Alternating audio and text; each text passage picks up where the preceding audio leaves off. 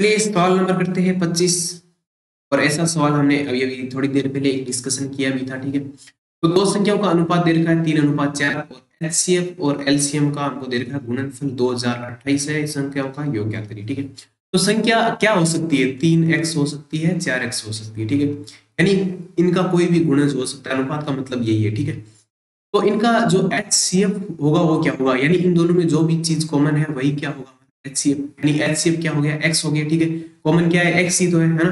यानी एक्स को गुणा कर रहे हैं तो एक्स कॉमन हुआ, ठीक है? यानी मान लो एक्स की इन केस दो वैल्यू हुई, तीन हुई तो वही हमारा क्या हो गया? एच और एलसीएम क्या होगा? एलसीएम होगा कॉमन वाली प्लस जो कॉमन नहीं आ रहा है, उसको भी गुणा करेंगे, ठीक है? तो एच एलसीएम क्या हो गया? X into three into four ठीक है? ये हो गया आपका एलसीएम ये हो गया एचसीएम और दोनों का गुणनफल कितना दे रखा है? 2028 और यहाँ से हम क्या निकालेंगे? X की वैल्यू निकालेंगे और फिर दे रखा है संख्याओं का योग है ना? तो संख्याओं का योग कितना है? सेवन एक्स ठीक है? X की वैल्यू निकाल के सेवन से गुणा करो। वही हमारा क्या होगा? राइट आंसर होगा, ठीक है? तो ये है चार और तीन तो चार तीन बारह ना? तो बारह को कैस चार से कैंसिल करिए पहले इसको।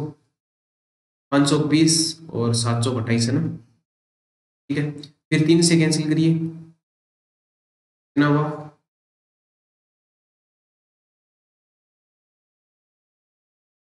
One sixty nine okay what is wrong with this?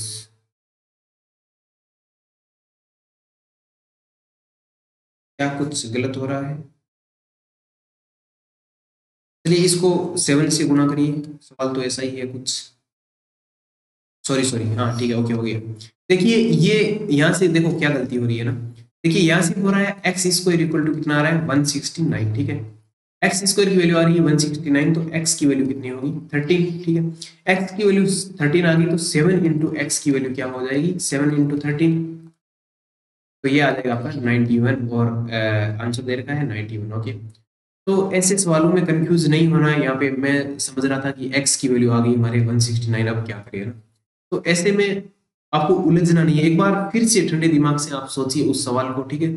और आप जैसे मैं भी इनको पहली बार ही कर रहा हूँ, ठीक है? मेरे को तो बहुत आसान ये सवाल लग रहे हैं, ठीक है? आपको भी आसान लग सकते हैं कब? जब आप इनके ऊपर प्रैक्टिस करोगे सौ सौ सवाल इनके करोगे, ठीक है? तो आपको क्या होगा कॉन्सेप्ट है वो अच्छे से पकड़ में आएगा, ठीक है? ज़्यादा सवाल प्रैक्टिस करने से क्या होता है, आपको कॉन्सेप्ट इजीली याद रहता है, ठीक है?